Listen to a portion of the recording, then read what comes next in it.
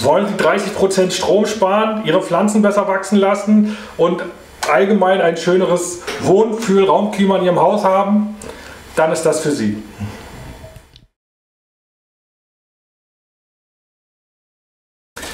Bauen Sie Ihr eigenes EM-Energiefeld auf. Das ist der Tipp von Professor Higa aus Japan. Ähm, also unser 82-jähriger Professor Teru Higa, der EM entdeckt hat, weltweit in die Anwendung gebracht hat, der hat äh, konstant neue Ideen und ja, fordert die, die ihm immer noch zuhören, wie uns äh, täglich neu heraus. Und eine neue Herausforderung, die seit ein paar Jahren aus Japan zu uns herüberschwappt, ist Aufbauen von EM-Energiefeldern. Und da wird es jetzt richtig esoterisch, wenn wir hier von den ganz normalen Mikroorganismen sprechen. Ähm, die sind lebendig, die produzieren Vitamine, Antioxidantien, die fressen Giftstoffe auf. Alles bekannt, sind gesund, äh, tausend Anwendungsmöglichkeiten von Trinken bis Kläranlage bis Putzen und was weiß ich. Alles physikalisch, chemisch mit unserem herrschenden Weltbild gut nachvollziehbar. Worüber wir heute reden, ist definitiv nicht im klassischen physikalischen, chemischen Weltbild nachvollziehbar. Da, da reden wir über Sachen, die wir noch gar nicht richtig erklären können, wo wir eigentlich ganz klar sagen können, das dürfte nicht funktionieren. Äh, es funktioniert trotzdem. Sehen wir jedenfalls in der Praxis immer wieder ganz oft. Und wie gesagt, der Professor hier verwettet seine 50-jährige Karriere darauf, dass das funktioniert und empfiehlt uns allen, EM-Energiefelder aufzubauen.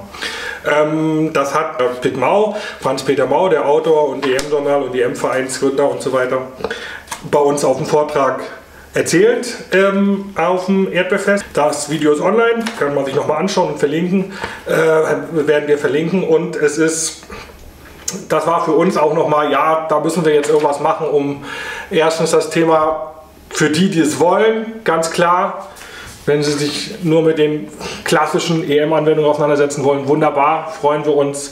Machen Sie es in die Silage, machen Sie es in die Kläranlage, machen Sie es ähm, beim Garten. Ähm, Gießen oder Putzen oder Gesundheit reicht uns völlig aus. Wenn Sie damit zufrieden sind, machen Sie das so. Wenn Sie sagen, ich will einen Schritt weiter gehen und will in diese energetischen Aspekte reingehen, dann ist dieses Video heute für Sie.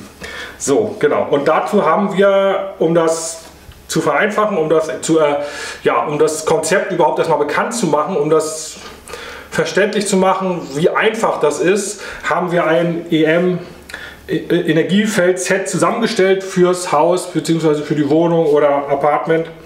Und, ähm, und zwar haben wir erstens, das sind die ganzen grauen Beutelchen hier, wir haben EM Keramikpulver in 40 mal 25 Gramm Beutelchen abgefüllt und die werden wir im Haus oder an strategischen Stellen verteilen.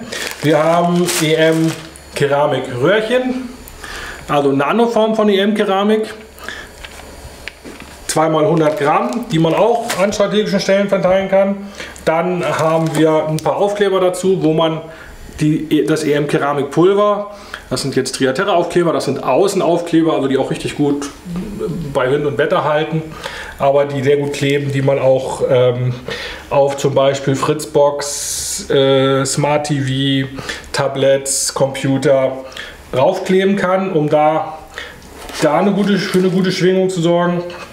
Wir legen noch ein paar kleine Kabelbinder rein, damit man diese Röhrchen eventuell um äh, Stromleitung und so machen kann. Und wir packen noch eine Flasche Triaterra Honig zum Sprühen im Haus und Putzen und eine Flasche Triaterra Meer zum Pflanzengießen und für jede Anwendung im Haus mit rein, um zu symbolisieren, was man damit alles machen kann. Damit können Sie tatsächlich erstmal das ganze Haus nach diesem EM-Energiefeld Konzept EM mit EM Graviton-Technologie, wie Professor Hieger das nennt, ähm, harmonisieren.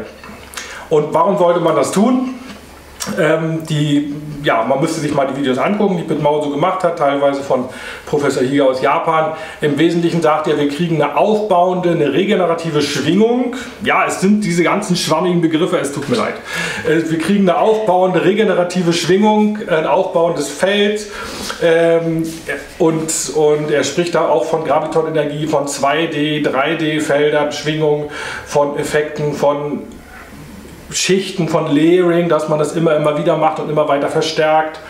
Und ähm, er bedient sich in seiner Terminologie, der Professor Hieger, bei der Quantenmechanik, äh, bei äh, ja, Graviton-Technologie, äh, bei ja, aber auch bei diesen ganzen Schwingungseffekten, die ja, die so in der Esoterik so schön berühmt und bekannt sind und worüber alle den Kopf schütteln, wenn sie ein bisschen naturwissenschaftliches Verständnis haben.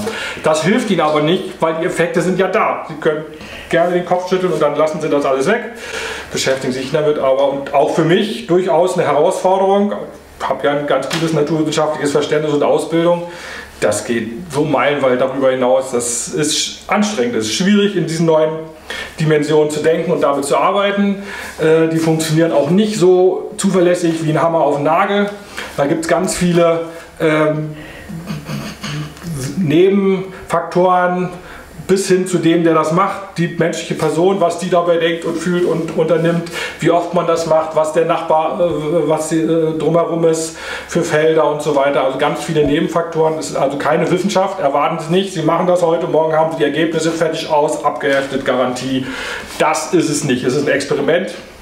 Sie können das Experiment machen, mit uns testen, was es bei Ihnen auslöst, im Haus, bei Ihnen selber vielleicht, bei äh, ihrer Stromrechnung. Hier wird es interessant, denn tatsächlich ist die Behauptung von Professor Hieger, dass Sie damit 30% Strom sparen können.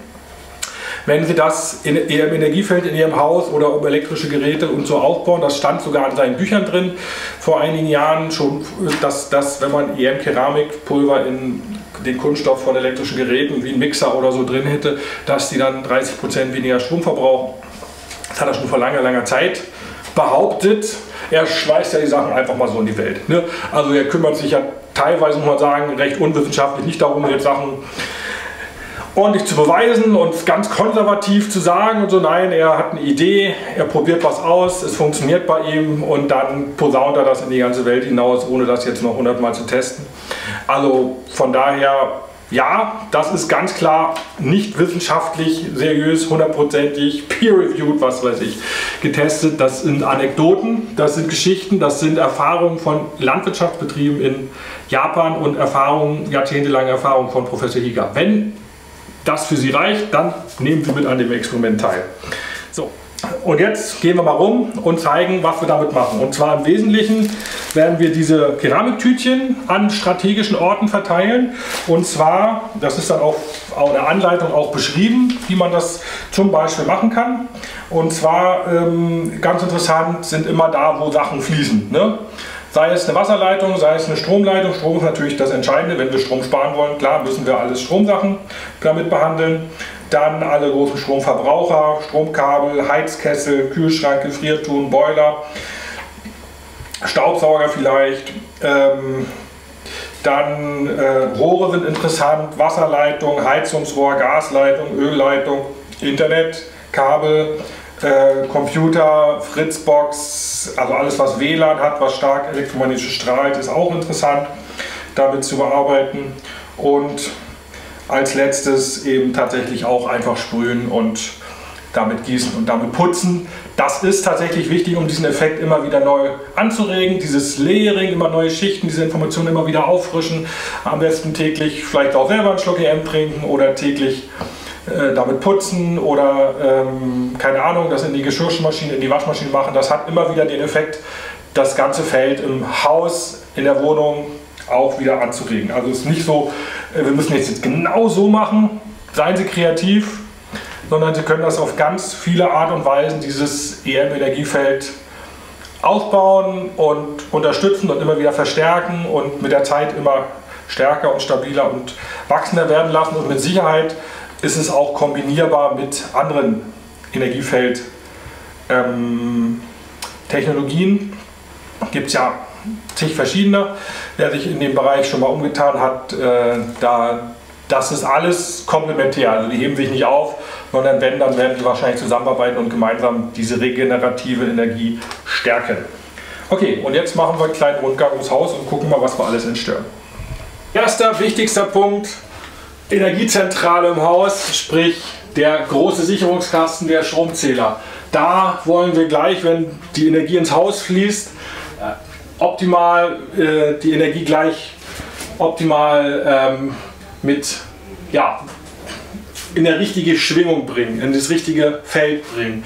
Und der Professor Higa spricht auch davon, dass die Elektronen dann gleichgerichtet werden, dass die äh, widerstandsfreier fließen. Dadurch kommt dann auch eine Stromersparnis wohl zustande. Und warum das so ist, warum das Vorbeifließen der Elektronen an dem EM-Keramik irgendwas bewirken sollte, ich weiß es doch auch nicht. Aber so, was ist EM-Keramik überhaupt? EM-Keramik, das könnten wir auch noch mal kurz erklären.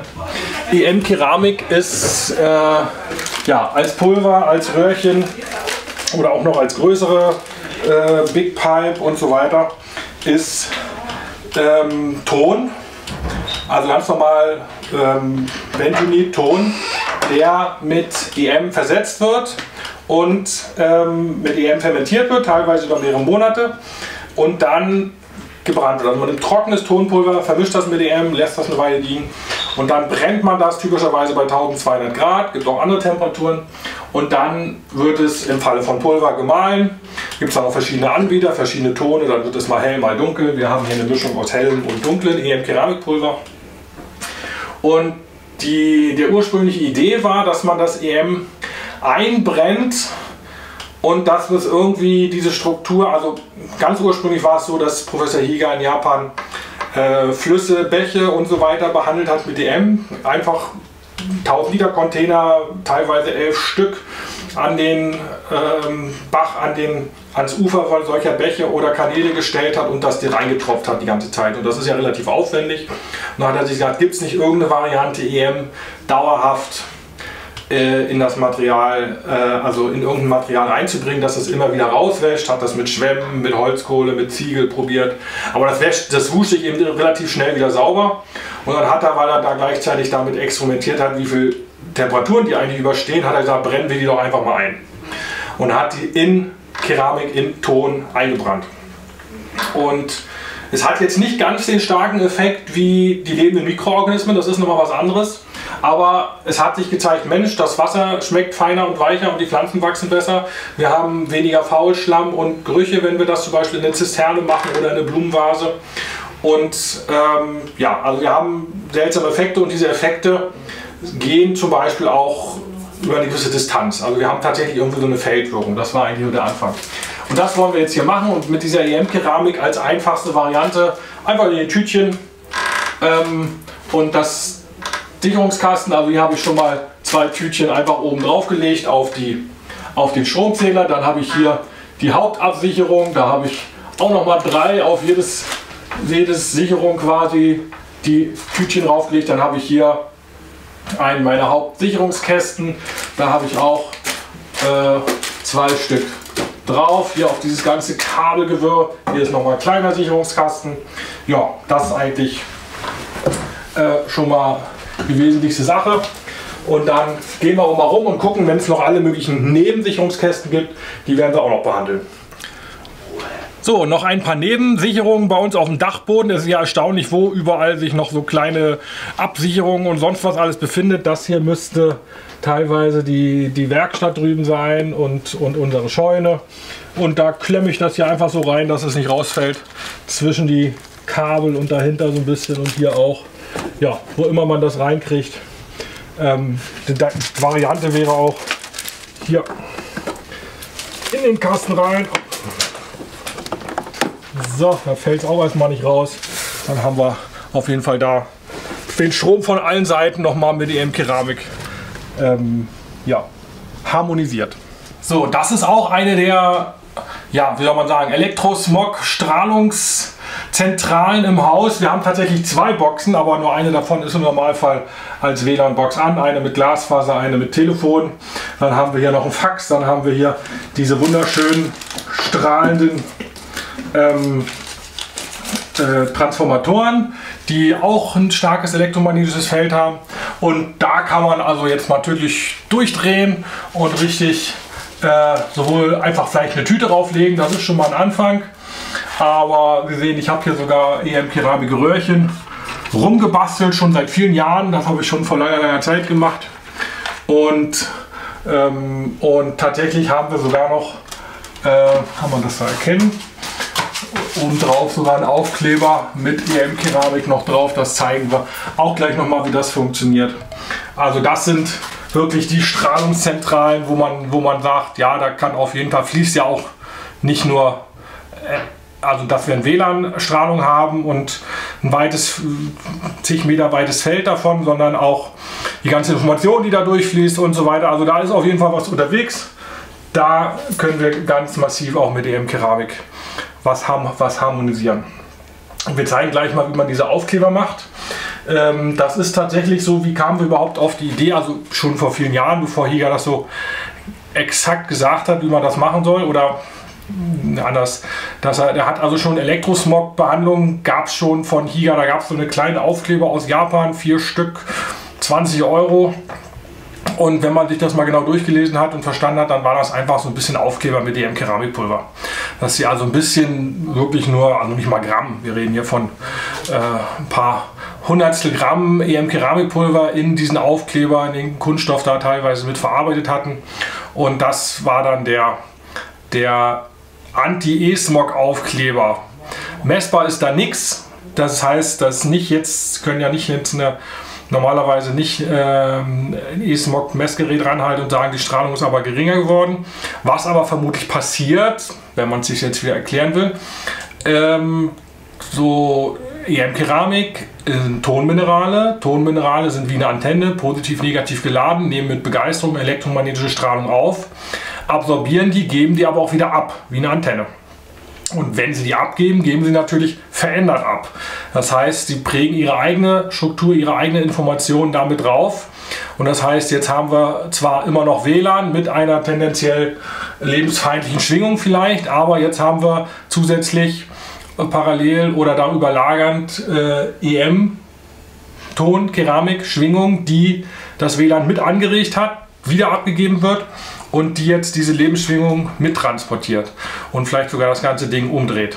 Der äh, Rolf Borg damals so ein ähm, Routengänger und Hausentstörer, Hausharmonisierer, der hat gesagt, ja, mit EM-Keramik kann man auf jeden Fall die, die Information, also dieses, dieses Lebensfeld schon mal ins Neutrale bis Positive drehen, nur mit Keramik. Ganz simple, simple Hausentstörung, die normalerweise, können Sie sich mal auf dem Markt umgucken, tausende Euro kostet kann man hier für bei uns mit dem Set für 100 Euro oder 99 Euro hinkriegen oder wenn man das sogar noch mit eigenen Materialien macht für, für noch weniger Geld. Einfach nur das Prinzip verstanden hat. Wir zeigen gleich mal, wie man so ein Apparat entstört.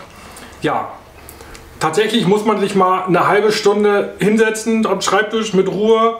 Man braucht äh, eine Schere, man braucht Klebeband, sowas hier zum Beispiel oder unsere Trianterra Aufkleber und ein bisschen EM-Keramikpulver, davon braucht man relativ wenig.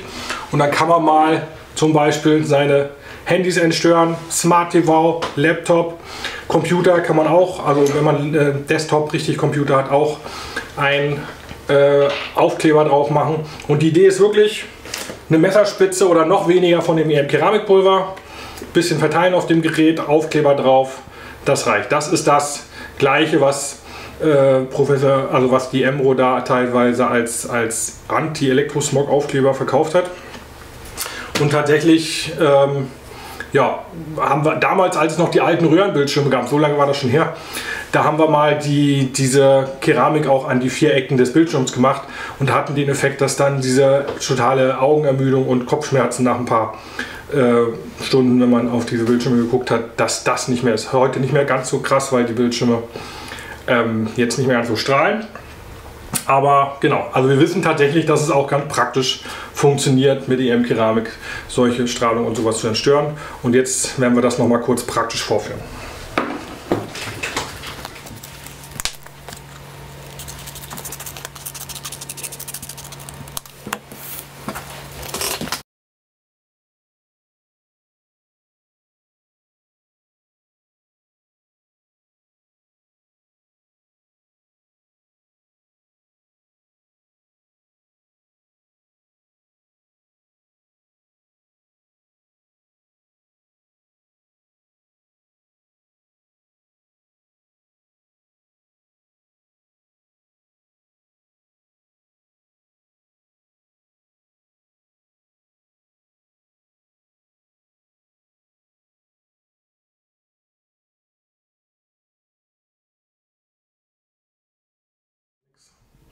So, hier sind wir bei einer weiteren Hauszentrale, wo es, wo ganz viele Energien fließen, ganz sprichwörtlich. Nämlich hier haben wir, man kann das hier unten so schön sehen, unseren äh, Gasheizkessel, ging aber genauso mit dem Ölheizkessel ähm, oder anderen. Das heißt, hier haben wir unsere Außen, unseren Vorlauf, Rücklauf von den Heizungen, also die Heizungsrohre, die die ganze Zeit durchflossen sind. Das ist immer interessant, auch für diesen, diesen leeren, diesen Schichteffekt und das immer wieder zu verstärken, dass die Sachen die ganze Zeit im Kreis laufen. Das wissen wir auch von EM-Anwendungen. Wenn es da die ganze Zeit im Kreis läuft, dann verstärkt sich das immer und immer mehr. Da sind so Kreislaufanlagen perfekt. Hier auch. Ne? Und Sie sehen, ich habe da schon einiges gemacht mit denen, also schon vor vielen Jahren mit ähm, den Sachen. Also hier haben wir einmal den Heizkreislauf Vor- und Rücklauf. Dann haben wir äh, Kaltwasser rein, Warmwasser raus und dann haben wir die Gasleitung. Und die kann man alle und sollte man alle ähm, einmal mit, ähm, ja, man könnte da auch äh, Keramiktütchen hinterklemmen oder so, wäre auch eine Variante, aber dafür eignen sich wunderbar diese EM-Keramikröhrchen. Da können Sie hier, ja, vielleicht 10 Stück oder so, vielleicht sogar ein bisschen zu viel, 8 Stück.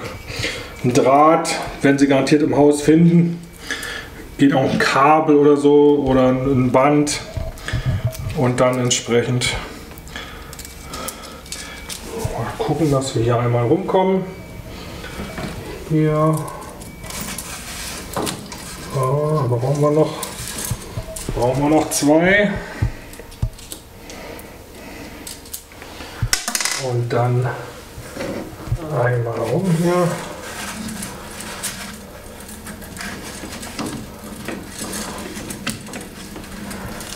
Das Schöne am Draht ist, dass ich den gleich verzwirbeln kann. Und der ist da für die nächsten 100 Jahre fest.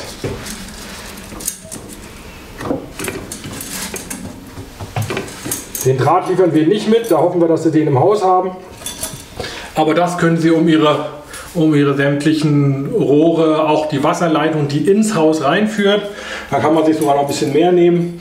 Äh, da kann man tatsächlich die ganze, das ist eine ganz einfache Variante, quasi EM-Keramik Hauswasser zu bekommen. Das haben wir tatsächlich auch um unserer Brunnen- und Hauswasserleitung, dass wir ähm, Teilweise kann man da diese 500 Gramm EM-Keramikröhrchen auf einen Schlag nehmen, je nachdem wie viel da durchfließt am Tag und die auffädeln auf dem äh, Sehne oder Band oder Draht und mehrfach um so eine Hauswasserleistung rumwickeln. Genau. Ja, also bei der Hausleitung tatsächlich, Hauswasserleitung tatsächlich interessant, eben da die ein ganzes 500 Gramm äh, Paket Röhrchen, da sind 300, 350 Röhrchen drin, auffädeln, einmal komplett rumwickeln, dann hat man tatsächlich, ja, es wirkt durch die Leitung durch. Was soll ich sagen? Schön ist natürlich, wenn es direkten Kontakt hat. Man kann das auch in Filter oder so reinbasteln, wenn man da was ein Zwischenstück hat. Aber wenn nicht, ist es tatsächlich eine Variante und es funktioniert wunderbar, das außen um die Hauswasserleitung rumzuwickeln. Wenn Sie das tun, gucken Sie sich mal an, ob sich in Ihren Leitungen plötzlich Kalk und Rost löst. Ganz typischer Effekt, wenn Sie anfangen, so ein Haus, eine Anlage, so eine Leitung zu entstören, dass sich alte Ablagerungen aus diesen Leitungen lösen. Ganz klassisch bei mir war es damals auch ein Haus, das ich damals in Gelto hatte, also wo ich in einer Wohnung gewohnt habe und dann habe ich da auf die Wasserleitung und so auch überall Entstörungen drauf gemacht. Noch eine andere Art als EM interessanterweise, aber das hat auch funktioniert. Mit EM geht das genauso. Und dann löste sich aus diesen ganzen ähm, Leitung löste sich der Kalk und hat mir sämtliche Wasserhähne verstopft. Und tatsächlich habe ich das selber beobachtet und das wird auch immer wieder berichtet. Wir haben das beim Landwirt auch gemacht mit dem gleichen Effekt. Einfach um die Wasserleitung außenrum gewickelt, beziehungsweise ein äh, äh, Apartmenthaus entstört. Und dann äh, hatte sich eben aus allen Leitungen der Kalk gelöst, kam so ein Grieskalk dann in den Wasserleitungen über. Hier musste man alle Wasserhähne abschrauben und den Filter leer machen von dem Kalk, der da ankam. Tatsächlich hatte die Heizungsanlage auch nicht mehr funktioniert, weil da drin auch irgendwie ein Filter war, der, das, der dann verstopft war mit dem ganzen Kalk. Da musste dann sogar mal der Techniker kommen und das kurz durchspülen. Ja, also wenn sie so ein, äh, oder Rost ist auch typisch, dass dann so, eine, so ein Rohr vielleicht schon extrem verrostet ist und dass das ein paar Tage, Wochen sich aus so einer Leitung dann der Rost löst, wenn man angefangen hat so zu entstören. Also das wäre so ein Hinweis, aha, ich habe überhaupt keine physische Sache verändert, habe nur außenrum ein bisschen Keramik gewickelt und plötzlich sind, haben sie solche Effekte, dass es dann mitunter ganz überzeugend zu sehen, was da passieren kann. War für mich jedenfalls ein ganz schönes Aha-Erlebnis damals, dass ich dann im Nachhinein verstanden habe, was, warum das passiert ist. Genau. Ja. Und eine nächste Variante, die sich jetzt zum Beispiel bei unserem, Lab, bei unserem Laptop haben, ist, dass man auch äh, mit den Kabelbindern, die wir mitgeliefert haben, da schafft man es gerade so, ähm, fünf EM-Keramikröhrchen drüber zu machen und dann zum Beispiel an so, einer, an so einem Verteiler oder eben ein Stromkabel für einen Staubsauger, für einen Computer und dergleichen äh, Kühlschrank, dass man da auch ähm, äh, eine Entstörung des Stroms da an der Stelle eine, eine Harmonisierung erreicht. Und ja, ansonsten wäre noch eine Variante, wir können ja mal an meinen Kühlschrank gucken. Ähm, da haben wir auch ein EM-Keramikstück.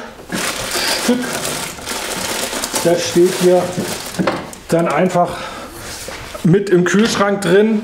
Das ist jetzt ein Big Pipe, der ist nicht Teil des, des Pakets, aber man könnte stattdessen auch zwei, drei Tütchen mit in den Kühlschrank packen und hätte auch den Effekt, dass die Luft im Kühlschrank frischer riecht, dass die Lebensmittel sich länger halten und ähm, ja, dass er sich teilweise leichter reinigen lässt und wahrscheinlich auch weniger Strom verbraucht, weil er eine bessere Energie hat, der bessere, harmonischer, widerstandsfreier läuft.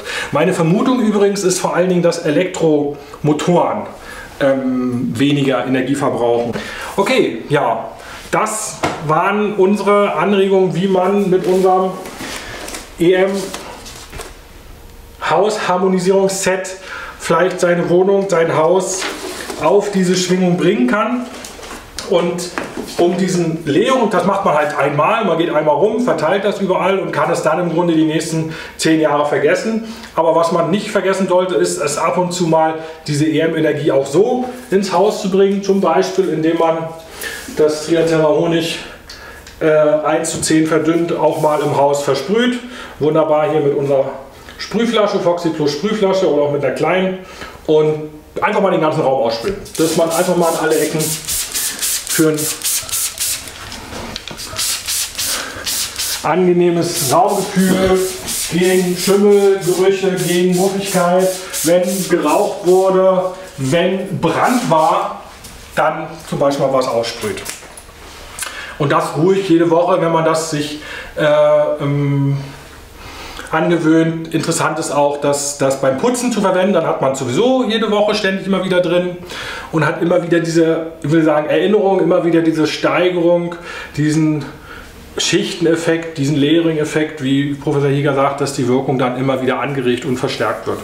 Zum Beispiel eben, indem man mal damit sprüht, genauso, dass man damit gießt, ähm, die Pflanzen damit gießt und wirklich nur ähm, 1 zu 100 verdünnt, 1 zu 200 verdünnt und damit die Pflanzen gießen. Wenn man das macht man ja auch jede Woche mal.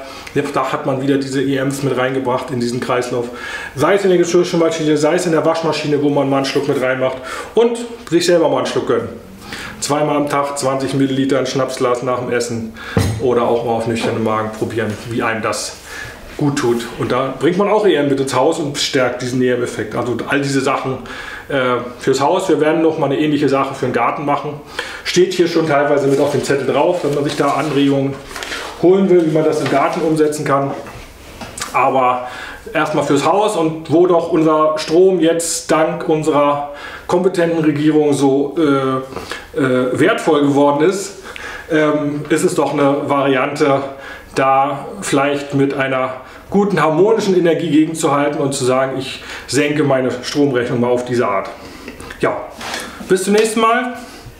Packen Sie es an.